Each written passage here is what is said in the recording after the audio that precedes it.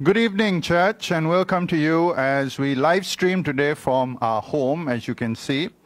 Um, well, for those of you who are longing to be back in church, um, rest assured next Sunday we will be back at Scots Kirk. Uh, so today is Communion Sunday, and as we uh, prepare our hearts to receive from the Lord's table, um, I want to speak to you about the cup of communion. But actually, I want to speak to you not just about what the cup symbolizes, I want to speak to you about what Jesus meant when he prayed, Let this cup pass.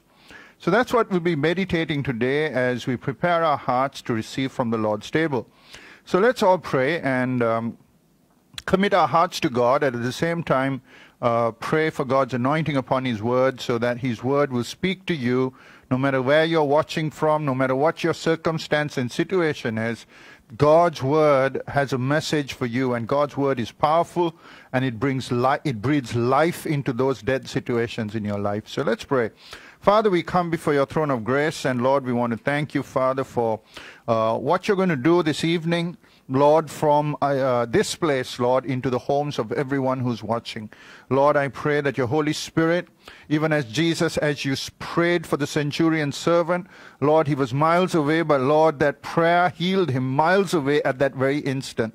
Lord, I pray that your word that is spoken today will be powerful and it'll go forth and bring transformation, change, and, and Lord, a blessing into the homes of those who are watching, Lord, right now. Lord, anoint me to speak your word this evening, O Father. Holy Spirit, speak through me, O God, in Jesus' name. Amen. So today we're going to talk about the cup.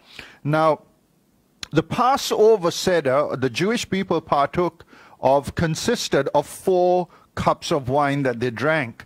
Now, uh, I've spoken about this to you before, but I want to med- uh, focus on this today. The four cups of wine symbolize uh, four distinct promises that God gave to the children of Israel in Exodus 6, verse 6 to 7. Okay, it says, Therefore say to the children of Israel, I am the Lord, I will bring you out from under the burdens of the Egyptians.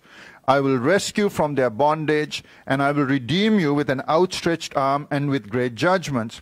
I will take you as my people, and I will be your God. Then you shall know that I am the Lord your God, who brings you from out from under the burdens of the Egyptians. So in this passage, we see four distinct promises. The first one is, I will bring you out from under the burden of the Egyptians. Now, that cup is called the cup of sanctification because it is bringing them, separating them from Egypt. Cup of sanctification. That's what sanctification means. Uh, the second promise is, I will rescue you from their bondage. Now, that was a cup of deliverance or the cup of praise, as the people are going to be delivered out of bondage, brought out of bondage. Um, the, the, the response to that is praise. So it is also called the cup of praise. The third cup is, I will redeem you with an outstretched arm and with great judgments. Now, this is the cup of redemption. And what we're going to see is that this cup is a cup that you and I partake of when we have communion. Uh, the fourth cup is, I will take you as my people and I will be your God. Now, that is a cup of restoration also called a cup of acceptance. It is restoring them to be the people of God. So these are the four distinct promises and the four cups. And we're going to look at these four cups and very specifically the third cup. Now the cup of sanctification says, I will bring you out. Out of what? Out of Egypt. Taking them, bringing them out of Egypt is sanctification. So God is saying to the children of Israel, I will bring you out of not just a land, but bring you out of a world. We are bringing you out of the world of Egypt. In other words, are, I'm not just bringing you out from the burdens that have been put upon you in Egypt, but I'm bringing you out of the culture of Egypt. I'm bringing you out of the sins and sinful lifestyle of the Egyptians. And I'm going to put you in a place of freedom, but a place of a different culture, not just freedom. So that's why, as soon as God delivered Israel out of Egypt, He took them to Mount Sinai. And what did He do there? He gave them the Ten Commandments. He gave them the law. And He gave them the, the, the system of sacrifice and the, and the ritual systems of worship and all these things God gave them out at Mount Sinai. What was God doing? He is saying, listen, I'm going to teach you a new way of living. Now, the laws are not just moral laws of uh, do not commit adultery, do not, um, you know, uh, covet, do not lie, not, not just that. There were religious laws, you know, keeping the Sabbath holy, not making idols. There were moral laws, but there are also civil laws. No, not to take eye for an eye, you know, to, to, um, how to look after the slave and, and the servants and, and all these laws were there. In other words, God was saying, I want to bring you out of this, this sinful lifestyle and culture and form a new culture, a new way of living. In fact, he's, he, not only that, he said, I'm going to give you a new purpose for living. You know, their purpose as slaves was to serve Pharaoh. He said, from now on, you're going to serve me, you're going to serve Yahweh God. So they went from being slaves to priests, from serving Pharaoh to serving God. In fact, Exodus 19:6 he says, "And you will be my kingdom of priests, my holy nation. This is my message you must give to the people of Israel." Now, that's the same thing God does to us through the blood of Jesus. He brings us out of the sinful lifestyle and culture and brings us into a new kingdom. He takes us out of the kingdom of darkness and translates us into the kingdom of light. He takes us being slaves to sin and slaves to the culture to become, uh, you know, a servants and priests, a royal priesthood, a holy nation uh, to, to uh, um, worship God and serve God. 1 Peter 2 9 says, But you are not like that, for you are a chosen people. You are a royal priesthood, a holy nation, God's very own possession. As a result, you can show others the goodness of God, for he called you out of darkness into the wonderful light. We are the called out ones, the sanctified ones. That's what it means. So he sanctifies us through his blood. That's what Jesus Christ did. In fact, the, the, the, name, the word for church used in, in Matthew, uh, when Jesus said, On this uh, uh, rock I will build my church. The word there, church, it comes from the Greek word ecclesia, which means called out ones. And it's the same word Peter uses when he says, For he called you out of darkness into the wonderful light, is the word ecclesia. And that's who we are, the called out ones, the sanctified ones. You and I have been called out. But sadly, many of us, even though we are called out, we still kind of go back into Egypt. We go back into, into, into bondage and darkness. We, we live with one foot there and one foot here. And, and the Lord is saying, as we partake of the cup, I want you to remember what Jesus Christ has done for us. He's taken us out of darkness to live a different life. And that's why in Matthew 6:24 Jesus says no one can serve two masters. Either he will hate the one and love the other or it'll be the other way around. In other words he's saying you can't live in that kingdom and this kingdom. You can't enjoy the, the, the things of darkness and think you can still have the blessings of light. You can't have that. And therefore the, the communion table is all about bringing us out into the kingdom of light. Now, Paul says this in 2 Corinthians 6 14 to 18. He says, Don't team up with those who are unbelievers. How can righteousness be partners with wickedness? How can light live with darkness? What harmony can there be between Christ and the devil? How can a believer be part of uh, partner with an unbeliever? And what union can there be between God's temple and idols? For we are the temple of the living God. As God said, I will live in them and walk among them. I will be their God and they will be my people. Therefore, come out from among them. Again, this come out from among them, among unbelievers, and separate yourself from them, says the Lord. Don't touch their filthy things and I will welcome you. And, and he goes on to say that. Now, what does that mean? What, what Paul is saying is, this is what God's invitation is don't borrow from the value, uh, the value systems. Don't uh, associate with their lifestyles. Don't uh, do business using their business uh, ethics. Don't associate with sinful lifestyle and culture. That's what he's saying. Okay, he says you are called to live a different lifestyle. You are called to value things differently. Sadly, the world values certain things, and he's saying, listen, you need to have different value systems. You need to have a biblical culture, a biblical value system. You need to have kingdom lifestyles. Now, does this mean that we can't have uh, unbelieving friends or people, uh, uh, people who are not Christians? Absolutely not. In fact, Jesus you know, he, he, spoke to the, the Samaritan woman. He was he he ministered to the Roman centurion who was Gentile. The uh, the the woman, the Syrophoenician woman. He even um, went uh, and uh, you know with the uh, the sinners, and he had uh, you know, the tax collectors and the, and, and who who who else. But the difference was Jesus didn't go there and was he was not influenced by their lifestyle, their ethics and their culture. He went and changed their lifestyle, ethic and culture. He goes into Zacchaeus' house and just for a cup of tea and, and for some tea and, and by the end of the I, whatever it was, whether it was tea or not, I'm not sure, but whatever he had at Zacchaeus' house, he spent a, a, a few moments with Zacchaeus and Zacchaeus was changed. What about the woman, the Samaritan woman at the well? He just goes there, spends a few moments with her, her life is transformed. This is what he did.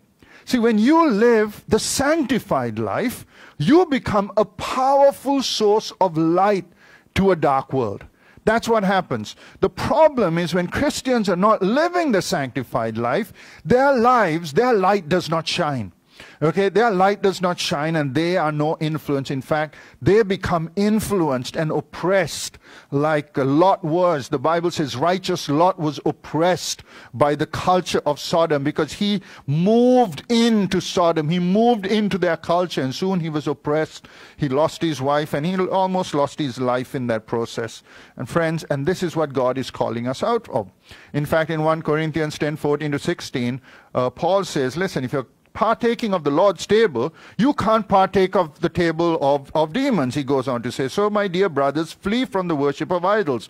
You are reasonable people. Decide for yourself if what I'm saying is true. When we bless the cup of the Lord's table, aren't we sharing in the blood of Christ? And when we break the bread, aren't we sharing in his body? So, in other words, communion is about sanctification.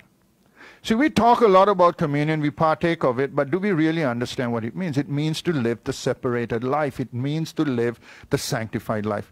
Okay, we're going to the next cup is a cup of deliverance. He says, I will deliver you from Egyptian slavery. That's the, the, the second promise. And that's called the cup of deliverance. It's also called the cup of praise. I want you to understand the Israelites were in Egypt for over 400 years. They were slaves there, especially the last half of their of their um, journey or sojourn into Israel.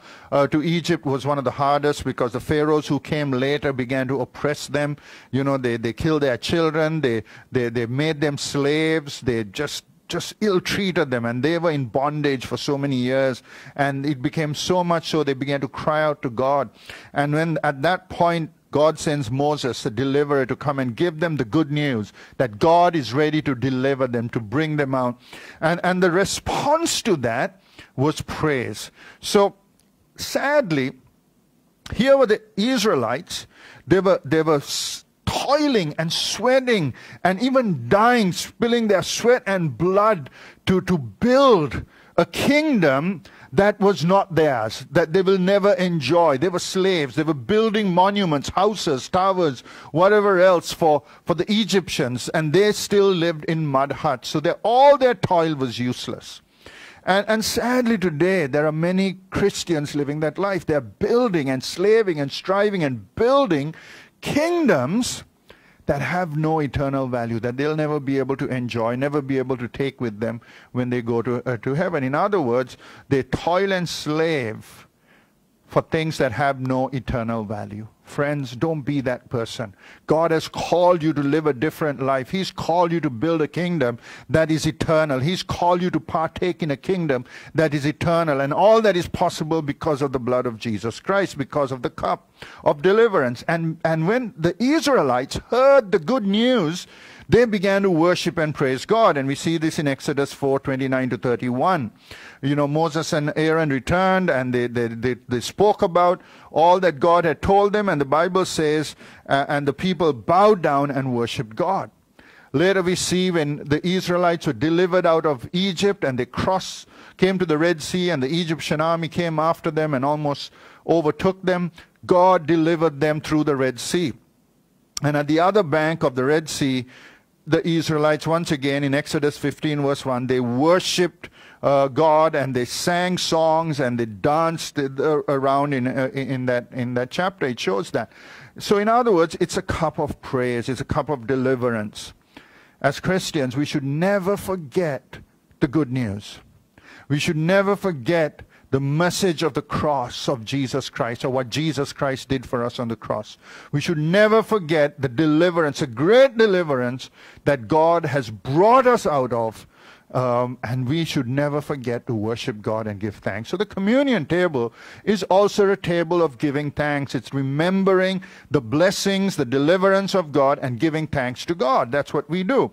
Now Romans 7, 24 to 25 uh, the first part of 25, Paul is saying, Oh, wretched man that I am, who will deliver me from this body of death? In other words, he's saying, Listen, I am a wretched person. I, I need deliverance. And then he remembers. He says, I thank God through Jesus Christ our Lord. In other words, I had no hope, but through Jesus I have hope. And now I live in that hope. And that's what communion does. The, the third cup is a cup of redemption. he says, I will redeem you with my power. This is the cup we drink at the Lord's Supper. Okay? The Lord's table, the cup is this cup of redemption. When God says, I will redeem you with an outstretched arm and with great judgments. That's what he tells Moses. That's the promise he gives Moses. He's, what he's saying is, I'm going to take you back. Redemption means to take you back or to buy you back. That's what redemption means, to buy you back. It's something that God owned. Um, you know, they gave themselves into slavery and now he's buying them back. The whole idea of redemption in the book of Exodus is God going, going and taking back what is rightfully his. You know, in Exodus 9 verse 1, when God sends Moses to Pharaoh, he says, let my people go. In other words, these slaves that you think you own, they belong to me. And God is saying, let my people go. So this third cup is a cup you drink usually in the Passover Seder. It's a cup that is drunk after supper. Okay? So when we look at the Passover of Jesus, the Passover meal that Jesus partook of, we see at least two cups and he speaks about a third. So Luke 22, 17, it says, Then he took the cup and gave thanks and said, Take this and divide it among yourselves. Uh, the, the Luke 22 20. So, three verses later, after he took the cup and divided it, three verses later, he says, Likewise, he also took the cup after supper, saying, This cup is the new covenant in my blood, which is shed for you. And finally, in Matthew 26, 29, he says, But I say to you, I will not drink of this fruit of the vine from now on until the day when I drink it with you in my Father's kingdom. So there are three cups mentioned at the Lord's Supper. The cup mentioned in verse 17 is probably the cup of deliverance and praise that we spoke about. Why would I say that? Because the Bible says, Then he took the cup and gave thanks. So he gave praise. He gave thanks to God. The, the second cup spoken about in verse 20 is a cup of redemption because he says, likewise, he also took the cup after supper. Okay, so this is the cup they take after supper. And he said, this cup is, uh, um, this cup is the new covenant in my blood, the cup of redemption, because the Bible says in Ephesians 1 7, in him we have redemption through his blood, forgiveness of sins according to riches of his grace. So his blood redeemed us. Okay, so this is the cup of redemption and the cup we partake of. We are redeemed by the blood. That's what the cup symbolizes okay? Hebrews 9:15 says and for this reason he is a mediator of a new covenant by means of death for the redemption of the transgressions under the first covenant that those who are called may receive the promises of eternal inheritance. Wow. He says there are promises and blessings because he has redeemed us from that lifestyle and that bondage and living in that darkness to a new covenant where there are blessings and, and all kinds of amazing things that God has for us. Now, this is so significant, friends, because what Jesus is saying is to his disciples, You know this cup as the cup of redemption. But this cup now is going to symbolize the new covenant to you. Okay? I will redeem you through my blood. Through his blood, he's going to buy us or purchase us. Okay? And this is so prophetic. This is so prophetic. Because if you look at the Bible, the first time the Passover was taken, uh, a lamb was given per house. So each house had to sacrifice a lamb. So the lamb was only for the household. And then they moved into the promised land, or, or uh, when they were going in the Exodus, God instituted a second uh, festival called the Day of Atonement. And at the Day of Atonement, the sacrifice was for the whole nation, the sins of the whole nation. And now, Jesus says, This sacrifice that I'm making, the sacrifice of the Lamb of God, will take away the sins of the world. It's not a household, it's not one nation, it's for the whole world. And that's why, friends, you and I can partake of the Lord's Supper. We can partake of it because of what Jesus did and the blood he shed on Calvary. And, and I tell you, if you were a disciple back then who was waiting for the new covenant, you know, when Jeremiah, we spoke about this last Sunday about the Holy Spirit, and Jeremiah 31, 31 to 32, it says, The day is coming, says the Lord, when I will make a new covenant with the people of Israel and Judah. This covenant will not be like the one I made with their ancestors when I took them by their hand and brought them out of the land of Egypt. They broke that covenant, though I loved them as a husband loves his wife, says the Lord. Now, he says, I'm going to make a new covenant. Now, the disciples knew about this. They were waiting for the day of that new covenant to come.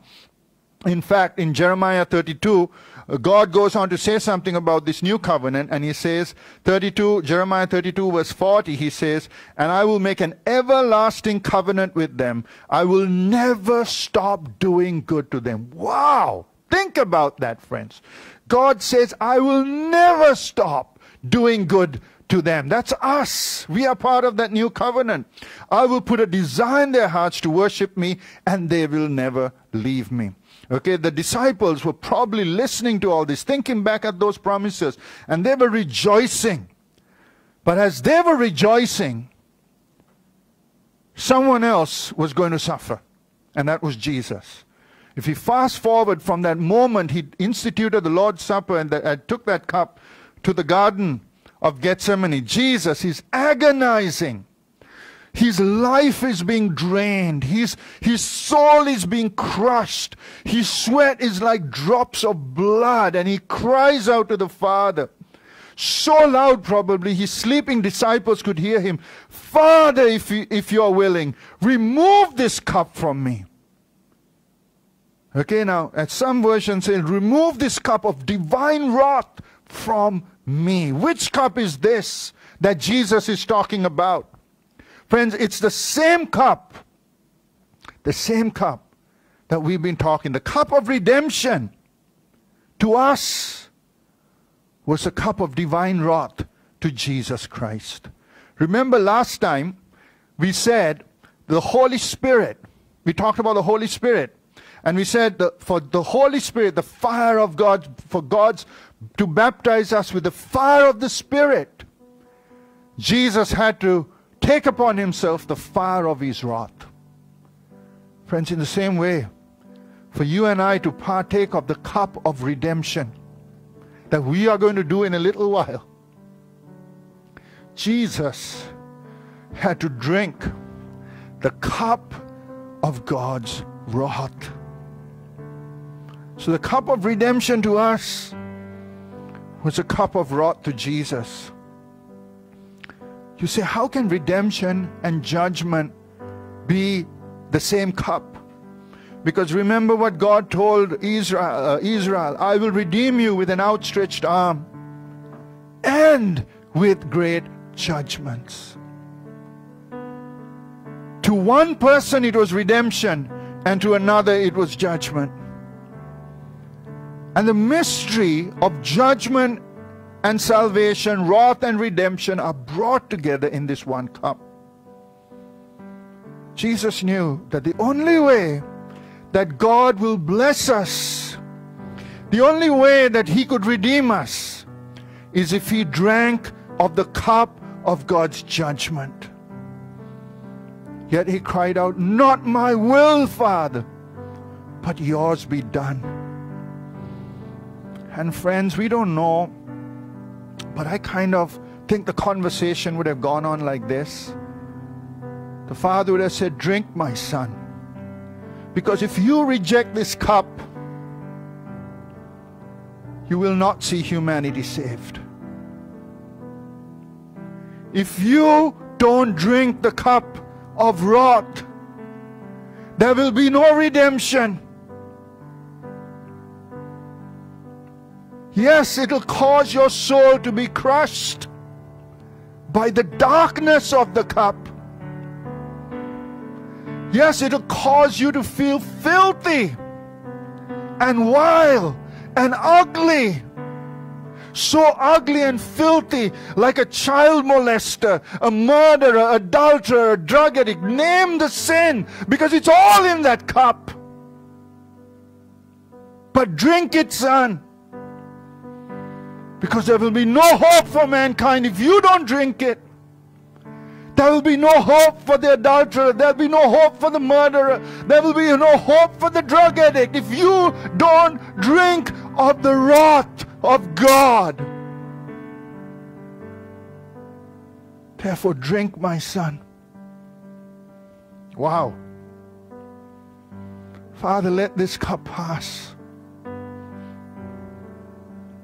This cup is not talking about a wooden cross, friends.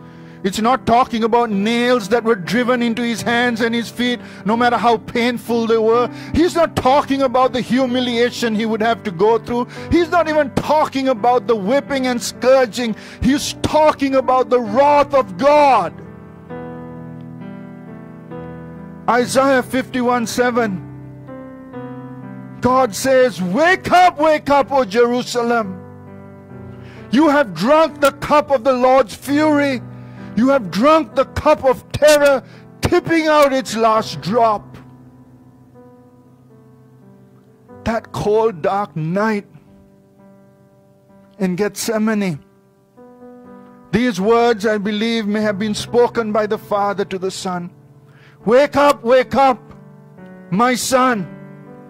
Drink of the cup of my fury. Drink the cup, tipping out its last drop. Drink, my son, the dregs of the cup of trembling and drain it out. Jeremiah 25 15. This is what the Lord, the God of Israel, said to me Take from my hand this cup, fill to the brim with my anger, and make all the nations whom I send you drink from it. And God is saying, My wrath is going to be poured out on all nations. But the Son says, Father, if I am to stop that wrath from going to all nations, I have to drink every last bit of it. And that is why, friends, today we can drink the cup of redemption because Jesus drank the cup of God's wrath. Should we not honor him? Should we not go down on our knees and worship this Savior? Wow. That night was dark and evil, friends. Satan was at work. He got into the heart of Judas and caused him to, to, to, betray his master. He would bring fear into the hearts of the disciples and cause them to scatter and deny their Savior. He would cause secret councils that would get together to falsely accuse the very Son of God. Yet it was not all this evil that crushed the soul of Jesus. It was not all this that caused him to tremble in the garden. In fact, it was his own words. In Matthew 10 28, he says, Don't be afraid of those who want to kill your body. He's saying, I'm not afraid of these people who want to kill my body. They cannot touch your soul. Fear only God who can destroy both soul and body in hell. And the son knew that, friends, that that night he was going to fall into the hands of an angry God. That's why he trembled. That's why he feared. He was not afraid of the physical pain and suffering. All he knew was the love of his father. This is my beloved son in whom I am well pleased. The proverb said he was God's delight and he delighted in the Father. But yet that night, he would carry the weight of sin and become the very thing of hate and anger to the Father. He would cry out, My God, my God, why have you forsaken me? Preachers sometimes say that is God had to turn his face away from his son because he couldn't bear the sight of his son's torment and suffering. As a father who who saw this, his child suffering and so much pain, he had to turn away. But that's not so. He turned away because he saw the sin.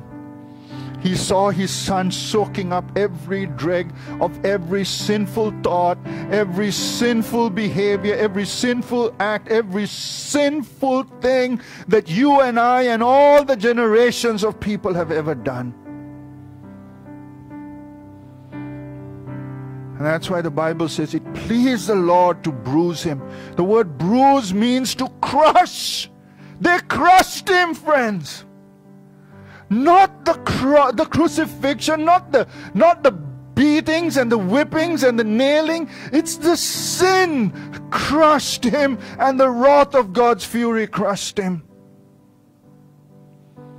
He drank every last drop for you and for me and then he says to the Father, It is finished. I drank it all. Look, Father, the cup is empty. There is no more wrath, no more sin. I drank it all. Friends, what saved us was not a wooden cross, it was not brass nails. What saved us was Jesus drinking the wrath of Almighty God that was thrust upon him like a torrential tsunami. Picture this. You're standing at the coast and all of a sudden you see this mighty 50 foot tsunami coming at you and you know you have no hope. You can't run faster than that wave. You are finished. You're going to be wiped out of the face of the earth. Your memory is going to be no more. And you stand there thinking god what i what should I do? And all of a sudden, not even a drop hits you, and you open your eyes, and there's Jesus who has taken the full blow of the tsunami of God's wrath. Not even a drop of water touches you. That's why we can drink this cup of God's redemption. That's why the Father says, I will never stop doing good to them. Wow! I will never stop doing good to them, is what God is saying to you and to me. Paul in 1 Corinthians 10 16 says, This is the cup of blessing. Wow, that is communion, friends. Wow, we have so much to be thankful to God.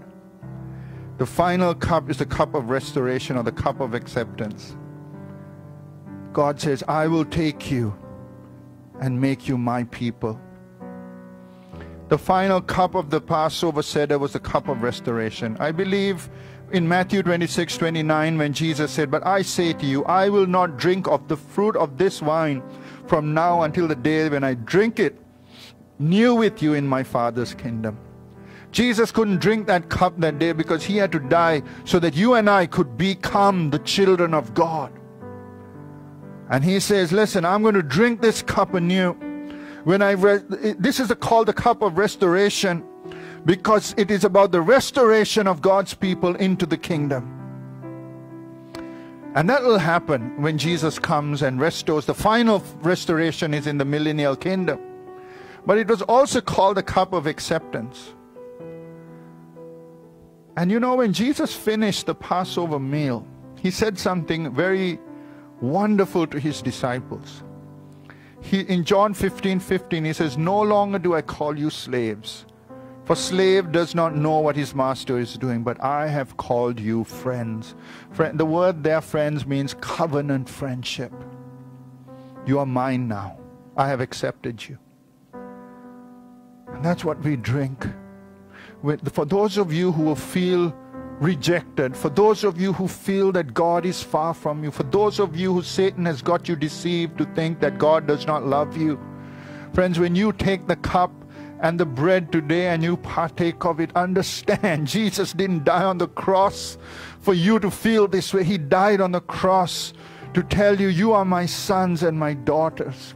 Like the prodigal son, he takes you and he puts his own cloak upon you, his own righteousness is what the Bible says. He puts his signet ring upon you, the blessed Holy Spirit, the seal of his covenant. And he invites you to his meal, to his table, and says, Come and partake of this table that I have prepared for you in the presence of your enemies. God says this to the Israelites. He says, I will take you as my people and I will be your God. He is mine and I'm his. Wow. All that because he drank of the cup of God's fury. Let me ask you a question, friends, as I close. Is he worthy of it all?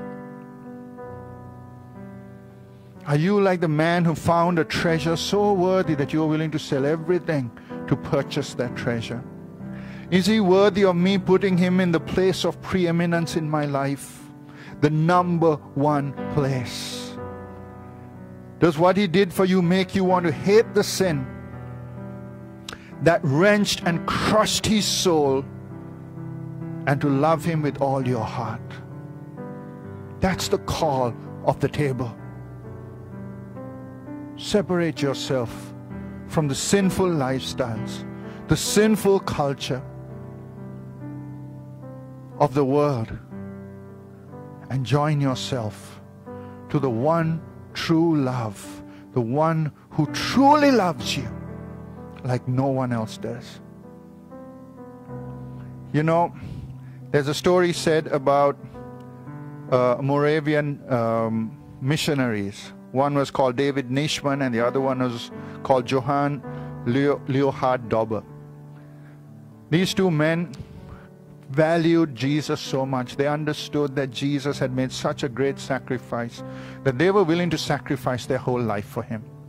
So they wanted to take the gospel, the power of the gospel, to the Caribbean islands, uh, St. Thomas, where there were slaves, and they had not heard the gospel because uh, the, the masters, the slave masters, didn't allow them, any missionaries, into that island to give the slaves the gospel. So these two men thought, we need to take the gospel to the slaves. So you know what they did? They sold themselves into slavery so that they could go there. And, and when they did that, no one was willing to buy them because they were white men and no one wanted to buy white slaves. So they didn't do that. But nevertheless, finally they convinced the people to take them as slaves to, uh, to St. Thomas. And as they boarded the ship and their family was there wondering what in the world has gone wrong with these people, they've gone crazy. They didn't realize that they were crazy in love with Jesus. And they shouted, and you know, they were saying, asking them why, and then they shouted back from the ship to the family and friends who had come to wave goodbye because they'll never see them again.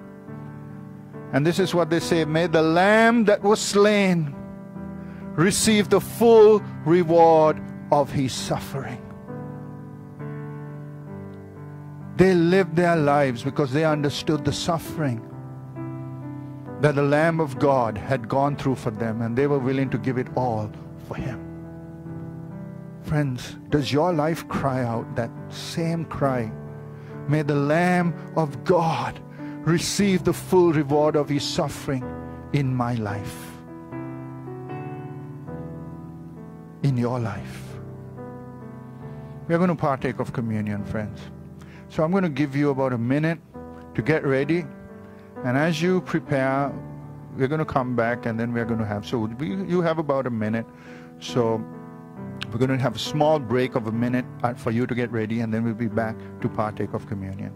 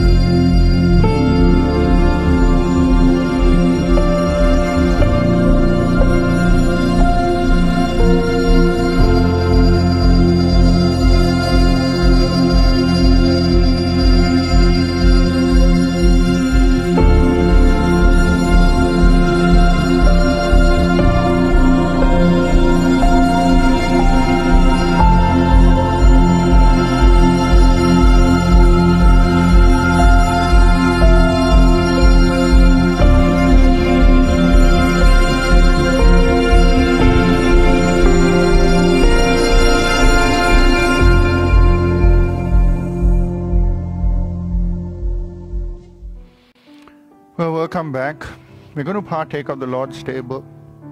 As you heard, He died, He took the full wrath of God so that you and I can drink of this cup the cup of redemption, the cup of restoration, the cup of thanksgiving, the cup of acceptance. 1 Corinthians 11 23 to 20. Um, 6 says, For I received from the Lord that which I also delivered to you, that the Lord Jesus, on the same night in which he was betrayed, took bread. And when he had given thanks, he broke it and said, Take, eat, this is my body which is broken for you. Do this in remembrance of me. Can partake of the bread now. Partake.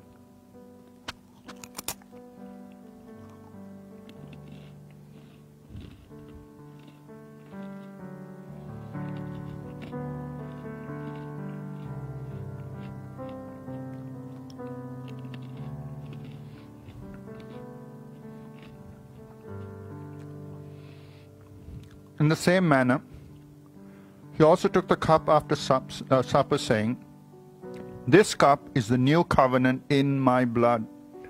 This do as often as you drink it in remembrance of me. Let's partake together.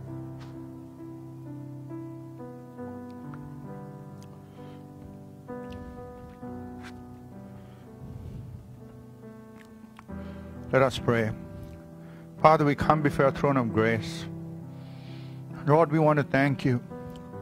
Oh God, we want to thank you for drinking of that cup that day, Lord, 2,000 years ago.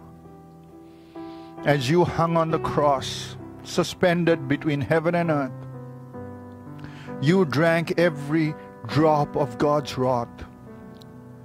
And therefore, today, the Father would say to us, I'm going to bless you and I will never take my blessing away from you. Wow. Thank you, Jesus. Thank you, Jesus. Lord, I pray, help us to live sanctified lives. Help us to walk out of the works of darkness. Help us to walk out of the things of darkness. And Lord, live the life that we could say, May the Lamb of God receive the full reward of his suffering in every aspect of our lives. Oh God, receive the full reward for why you died to purchase us, redeem us back to yourself. Oh God, receive the full reward. And Lord, help us to receive the full blessing of the cross. And right now, I want to pray for those of you who are sick. If you have any kind of sickness in your body, Remember, Jesus Christ died for you and to deliver you from every curse of sickness, to die for you and heal you of every sickness in your body. That's why he drank of that cup. Sickness is not from God, sickness is from the devil. And therefore, Jesus died to break the works. So he came to destroy the works of the devil. He came to die to set you free from sickness and disease in your body. All those things, the pain. Some of you are suffering from joint pains. There's a person who's watching, you're suffering from joint pains in your in your fingers and your wrist. And God is wanting to heal you right now. In Jesus' name, I pray that you will be healed. There's a person who's suffering from back pain, the lower back pain, um, uh, right down at the base of your spine. You're having a pain that the pain is going down one of your legs, and God wants to touch you and heal you right now. There's a person who's watching right now. You're hearing in, in your in your right ear. There's something wrong with your hearing, and God wants to wants to heal you right now. Just receive by faith, my friends. Christ died to bring healing into your lives. Hallelujah. Those of you who have diabetes, heart problems, just place your hand upon your chest. If you have a pain or an ache or any kind of sickness, place your hand over it, over that and let, let's pray and believe that God is going to touch you right now, like the centurion uh, servant where Jesus prayed that moment and said, Your servant is healed. That moment he got healed. Yes, this is a live stream. You're not in, a, inside a service or a church, but God can heal you where you are. Father, I pray right now for my brothers and sisters who are watching. Lord, bring healing. Let the healing power of God invade their homes right now, oh God. Bring healing into their homes as we partook of the covenant. blessing, the cup and the bread, the covenant, Lord. I pray that you will uh, break every curse of sickness over their lives. Generational curses would be broken. Sickness would be broken. Cancer would be healed. Lord, diabetes, heart problems, arthritis would be healed in Jesus' name. Kidney problems would be healed. Lord, I pray COVID 19 would be healed in Jesus' name. In Jesus' name, we pray, Father, that you will do a miracle in the lives of these people. In Jesus' name. I also believe right now there's someone who's watching, um, you suffering from fear. Not one, there are a couple of people watching right now. You're anxious and fearful, and God wants to banish that fear out of your heart, and He wants to increase the faith in your heart and the trust that your God, who took upon Himself the wrath of the Father, is able able to protect you. Your God is able to see you through this difficult time you're going through. And I pray that everything that is causing fear in your life will be banished from your soul in the name of Jesus. And I pray for confidence. I pray for love to invade the homes of the people right now. In Jesus' name, I pray families are going to be blessed. Lord, in Jesus' name, husbands and wives are going to have a renewed love and passion for one another. Children, oh God, are going to see bless, the blessing of God come into their homes in Jesus' name. Father, this is a covenant blessing, the covenant promise, because you took upon yourself the wrath of God. So that right now, those of us who partook of your covenant meal, your sons and daughters, have the pleasure of the Father upon us. What he said of his Son, this is my beloved Son in whom I am well pleased. I want you to listen to this, my brothers and sisters. The Father who said that to his Son is saying that to you right now. Because there are some of you who are watching this and you are saying in your hearts, God can't be pleased with me. God does not love me. That is a lie from Satan. Let me tell you what the Lord Himself would say to you right now. You are my beloved daughter in whom I am well pleased. You are my beloved son in whom I am well pleased. I love you and I gave my life for you. For God so loved the world that he gave his only begotten son. Hallelujah. God bless you, church. Have an awesome, awesome week knowing that He loves you, He's there to protect you, and He's there to guide you and lead you. Amen and amen. God bless you.